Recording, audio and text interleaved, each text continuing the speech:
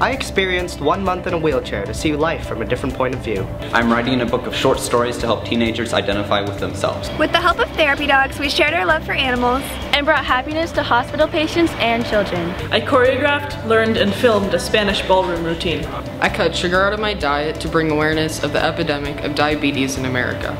I wrote, directed, and produced a dramatic horror on teenage revenge. I created a piece of experimental short fiction. I built a community of readers with over a thousand subscribers by making videos about books on YouTube. We decided to explore the upsides and downsides of being naturally quiet by taking vows of silence and making an effort to speak up more. I devoted my mornings to composing an excessively complicated jazz piece. I designed a reusable bag to do my part and encourage others to do their part in saving the ocean. I put together a group of York musicians and we mentored students from a middle school band in Marina. I've been producing original music using Logic Pro. I published a children's book for third graders.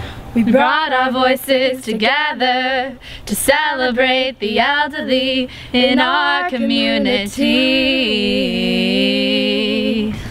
I taught myself my native language in order to connect with my Armenian heritage. We performed a series of random good deeds to spread happiness in the Monterey Peninsula.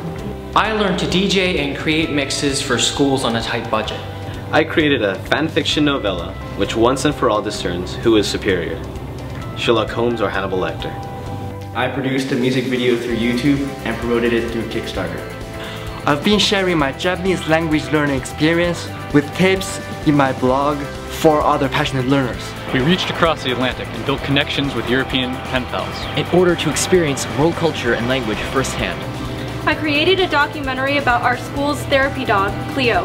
I created a blog that visually documented the progression of different art projects.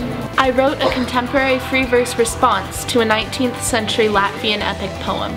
I delivered joy and compassion to senior citizens in the form of handmade paper gifts. We provided the homeless people of Salinas with blankets, jackets, and other warm clothing. I learned how to program in Java in order to help pursue a career in computer science. I collected and donated used clothing to raise awareness about secondhand stores. I created a question and answer website that provides easy to understand explanations for complex math problems. I taught 4th and 5th graders about entomology and the importance of insects in the environment.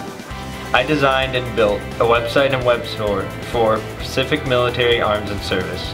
We collected athletic equipment so everybody can have the opportunity to play sports. I documented my failure at trying new things in order to inspire others to reach beyond their expectations. I created a series of videos to help eradicate transphobia and educate people about the trans community. As a fencing coach, I'm bringing an exciting and dynamic sport to my community. I am writing a calculator app for the Android that will have enough security to be used during tests. When we looked at the modern day interpretations of the Grimm fairy tales, we saw a world glossed over by Disney tales, and decided to bring back the great Grimm tales with a webcomic. I recorded and edited multiple pieces from different genres of music and played them with my own cello quartet. I taught dance classes in order to provide underprivileged children with a fun source of exercise. We cooked and photographed exotic dishes and shared them with our growing Instagram fan base.